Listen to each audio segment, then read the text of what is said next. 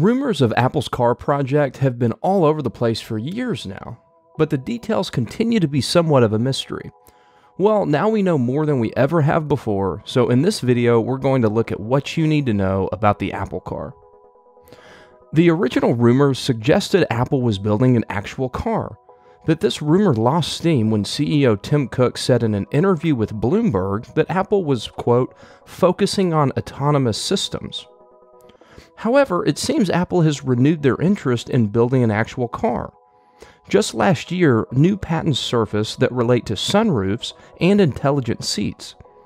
The sunroof design would allow for a large and nearly all encompassing sunroof that could retract as well.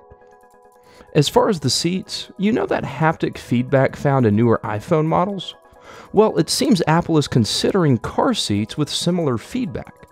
The idea is to give drivers warnings about certain road conditions or a possible collision. So, what else do we know? Well, there's almost no doubt the car will drive itself. Autonomous or self driving cars are the future, and Apple doesn't want to miss out. Apple received patents a few years ago regarding their collision avoidance system, and a handful of patents were granted last year, all concerning self driving technologies. We also know there is no lack of talent behind the effort.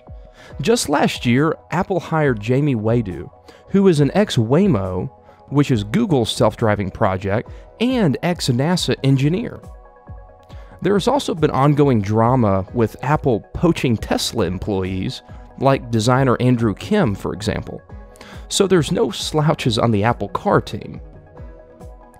By now, you may be asking yourself, when can I buy an Apple car?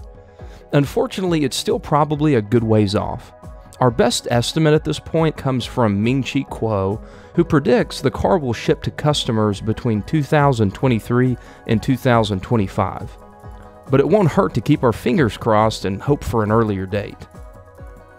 Alright guys, well I hope this video has you excited about the rumored Apple car.